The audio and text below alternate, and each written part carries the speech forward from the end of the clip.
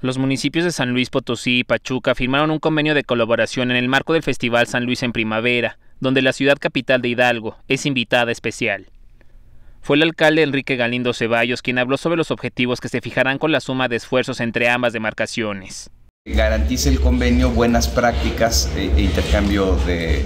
buenas experiencias que hemos tenido en el gobierno, en, tres materias fundamentales, turismo, cultura, deporte, pero desde luego también en gobernanza, que eso es fundamental.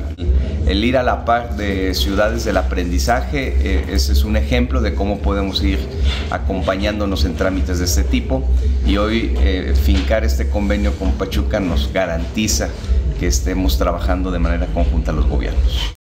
Por otra parte, el presidente Sergio Baños Rubio destacó el hecho de que estos dos municipios formen parte de las 14 ciudades capitales que tiene el país. Todos los días aprendemos algo nuevo y la creación de esta nueva generación con nuevos valores y con nuevos principios se está viendo en San Luis y por eso mismo eh, agradecemos esto, este documento que vamos a firmar el día de hoy pues para la educación, la formación, eh, el apostarle a la cultura, al arte, la pintura, la música y el intercambio que podemos hacer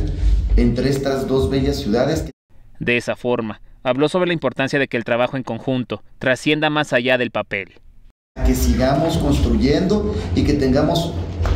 ese intercambio entre nuestra niñez, entre nuestra juventud o entre jóvenes talentos que también tuve la gran oportunidad de constatar que hay mucho talento aquí en el canto. Así es que enhorabuena de todo corazón, creo que es un día sumamente importante para San Luis Potosí, como para la ciudad de Pachuca, para seguir construyendo buenas prácticas y buenas políticas públicas que ayuden a construir las ciudades que merecen nuestras futuras generaciones. Con edición de Salvador Covarrubias, José Luis Vázquez, Noticieros Canal 7.